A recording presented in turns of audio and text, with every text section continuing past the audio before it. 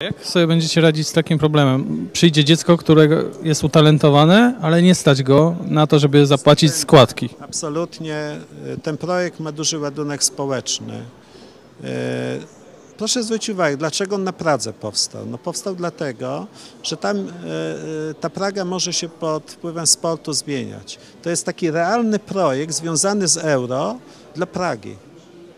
Y, I teraz te dzieci z rodzin o niższym statusie finansowym otrzymają stypendia. My nie chcemy, żeby zdolne dziecko y, było jakby poza tym projektem.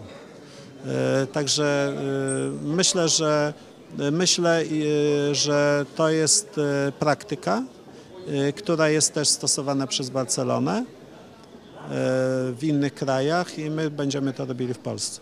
To, co jest dopisane do nazwy klubu, więcej niż klub, nie? oni o to bardzo dbają.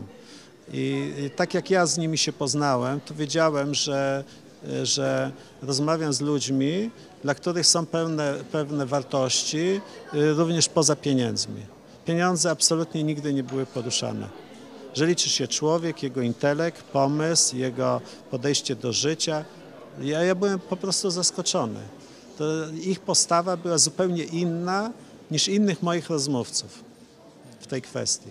I, I to jakby, ja byłem e, zachwycony, bo to jakby potwierdzało, że oni są więcej niż klub. Oni mówili o wartościach, o wychowaniu, o tym.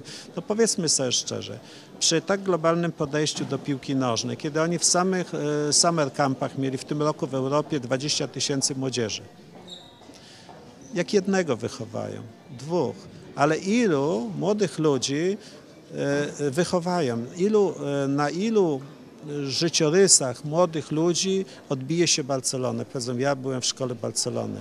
Oni mogą być dobrymi inżynierami, dziennikarzami, lekarzami i tak. To jest, to jest niezwykły potencjał sportu w procesie wychowawczym. To się bagatelizuje często w Polsce, bo w Polsce jest najważniejszy wynik, który będzie, e, nie wiem, w meczu niedzielnym, e, wygrać ligę, turniej do przodu. Nikt nie patrzy na to z punktu widzenia innych wartości, jakie niesie sport. Oni patrzą i na tym wygrywają.